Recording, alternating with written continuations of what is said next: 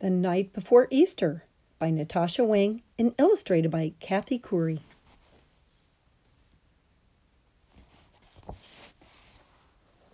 Twas the night before Easter, just before dawn. Not a creature was stirring out on the lawn. Our baskets were set on the table with care in hopes that the Easter bunny would soon be there.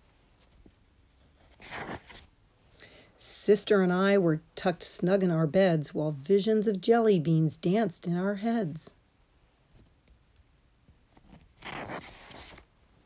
Then out in the barn the hens made such a clatter I sprang from my bed to see what was the matter.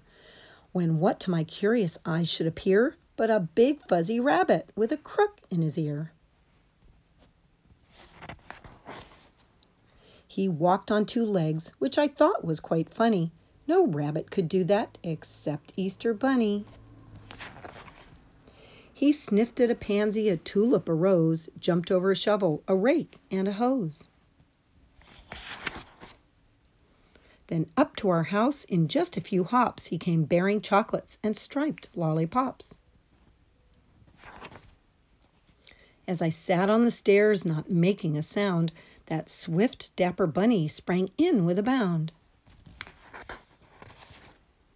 His soft fur was spotless from his head to his toe. His vest was all checkered, his tie in a bow. His eyes, how they sparkled, his whiskers, how merry. His tail was like cotton, his nose like a berry. He made not a sound, but went straight to his treasure, filled up our baskets, adding more for good measure. Chocolates and chicks and candy galore spilled from our baskets and onto the floor. And just when I thought the bunny was done, he picked out some eggs looking over each one.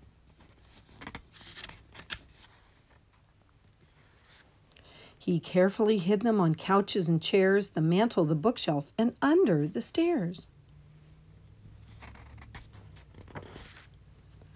When our rooster crowed, he turned with a start. He wiggled his nose, then went to his cart. He sprang from the house with a single bound and bounced down the street without making a sound.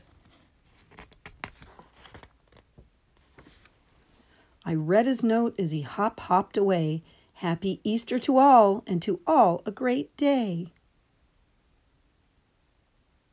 The end.